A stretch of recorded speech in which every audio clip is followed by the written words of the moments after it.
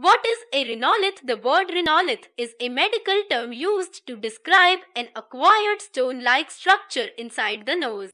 A rhinolith can also be referred to as a nasal calculus or a nose stone.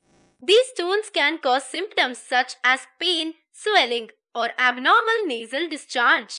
They are diagnosed on the basis of a physical exam, visualization of the nasal cavity with specialized scopes, or radiographic imaging of the entire head.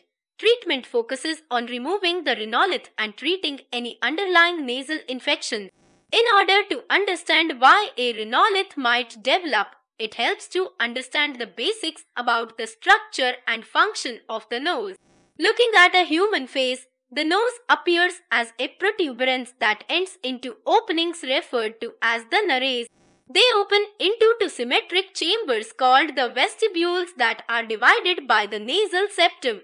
This opening extends upwards and backward, making the internal nasal cavity expand to a larger volume that its external appearance suggests.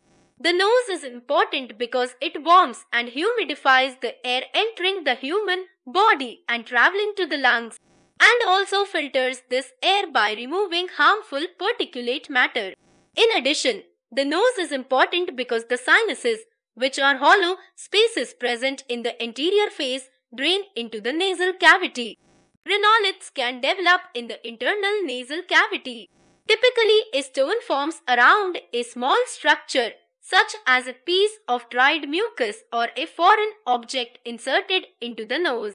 Often the rhinolith is composed of deposits of minerals such as calcium. The stones can vary in size from a fraction of an inch to greater than an inch to 0.54 cm in diameter and they preferentially form in the area where the sinuses drain their contents into the nasal cavity. Sometimes infection of the nose with different bacterial species can promote the growth of these nasal stones.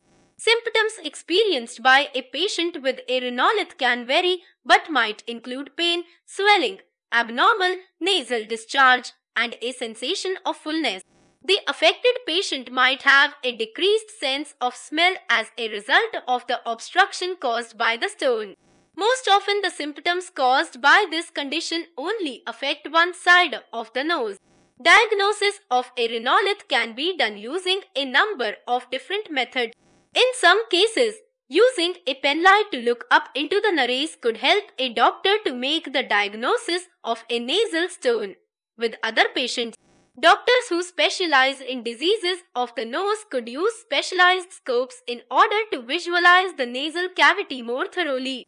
Other radiographic techniques such as computed tomography, CT, scanning or X-rays could also assist in diagnosis. Treatment of a rhinolith focuses on removal of the stone.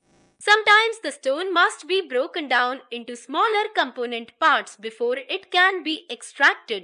Often the nasal cavity is swabbed and cultured to see if there is any abnormal bacterial growth present and if there is, patients are treated with appropriate antibiotic medications.